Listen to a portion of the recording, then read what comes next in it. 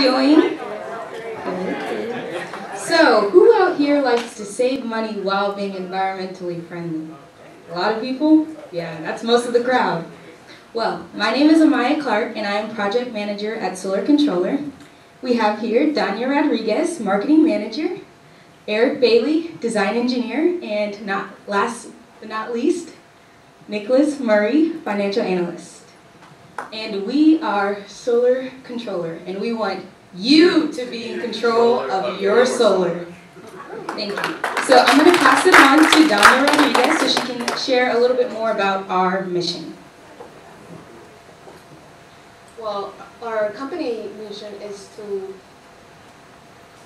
well, is to put you in control of of your um, future environment, and we also want you to have the best experience with solar, and more importantly, enjoy the freedom of being able to not have electric bills.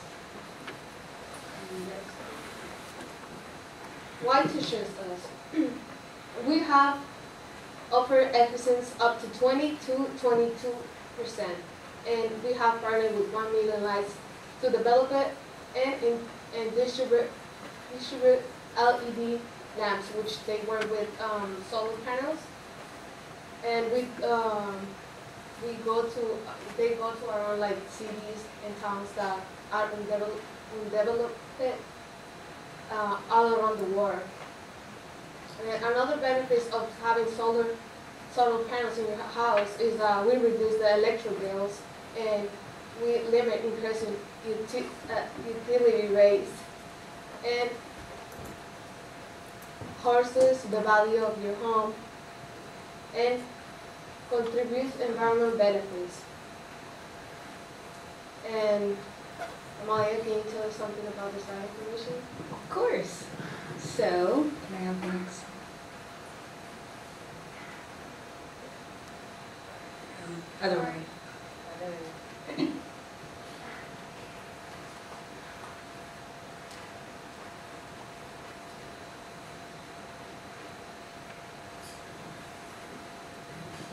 Keep going. Okay, site information. So our customer is Doug Blue, and he lives in Tustin, California. His electric rate is with Southern California Edison, and he has Schedule D. He uses an average electric rate of 22 cents per kilowatt hour, and this is an aerial footage of his house right here. And can, oh, right, okay, thank you. So the intensity on the solar roof side, there's slight tree coverage, but that's okay because we have skilled workers who can work around anything that may be in the way. The solar orientation or azimuth of the roof is 180 degrees. The pitch angle of the roof is 23 degrees and the solar roof area is approximately 1,125 square feet. Note the inst installation issues. So there are some trees and waste vent near the roof, the, the crest of the roof, but it's minor and it can be worked around. So Eric, can you tell us a little bit more about the design of the system? Of course. Now, as being the design engineer, uh, I went through many different designs and found there was many different uh, areas where I couldn't go through with putting panels on specific areas of the roof because there was few obstructions, but not too many. Now, with the final uh, decision that we came up to, we determined that uh, 16 panels was a great idea because uh, it allowed us to maximize the electrical uh, output given by all the panels. Now, with all 16 of the X22 model panels, uh, each panel they're producing 360 watts of power, would give uh, us a total uh, of 5,760 watts. Now, uh, our client used only 529 as an average, so we were giving him a bit extra, which gives him more room in case if he needs to add, make an addition to his house, or if for some reason he needs to use more electricity than normal.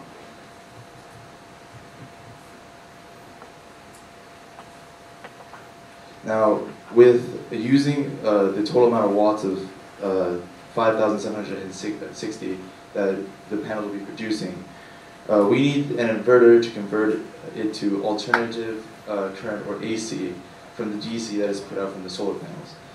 Now, uh, each panel produces 57.3 volts. We determined that if the panels, uh, that if we put the panels in two strings, uh, in uh, with eight panels in each string, the voltage produced would be 458.4 volts, which is in the range of the SPR 5000 series inverter. The inverters would be located on the uh, west side of the house, which is closer to the meter, so that way they can uh, work better together. Now, our solar system uh, is, uh, can produce uh, 5.76 kilowatt hours, and now with here's most of the math and to find out how much it actually puts out, and oh,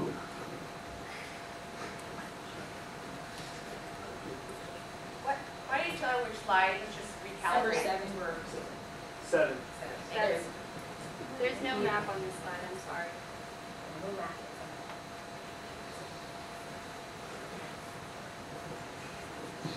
In order to get the annual solar electricity being produced after it goes through the inverter, we multiply the power, uh, we multiply the power rating of the system and multiplied it by 80% to account for the 20% loss uh, in the inverter through the efficiency of it. Next, we multiplied that number by 5.6 hours of the solar uh, per day, and then multiplied that by the 365 days out of the year. Uh, the annual solar electricity produced then came out to 9,419 kilowatt hours, which is just what our customer needed. And now, uh, Nick, could you take on uh, financial aspect? Certainly. So here at Solar Controller, we charge uh, $5 a watt, and our proposed solar system uh, is 5,760 watts. Therefore, the total cost of the system is $28,800. Luckily for our customer, uh, the government has graciously given anyone who buys solar panels a 30%, 30% tax credit. So that turns out to about $8,640 uh, from the system, which which makes the pay- uh, total cost about twenty thousand one hundred and sixty dollars. Okay, so over time, it was determined.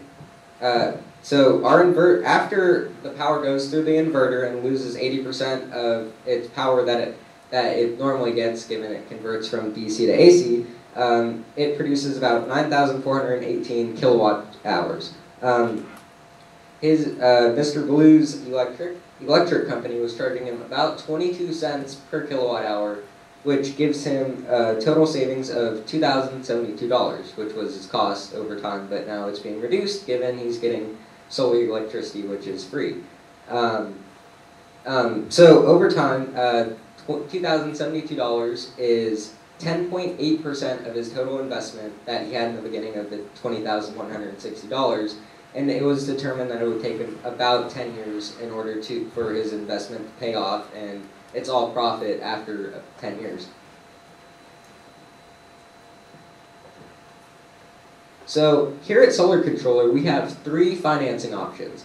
The first one is you can pay outright, you pay the $20,160, and then the system's yours. Enjoy free uh, solar essentially, and take solace in the fact that you're helping the environment.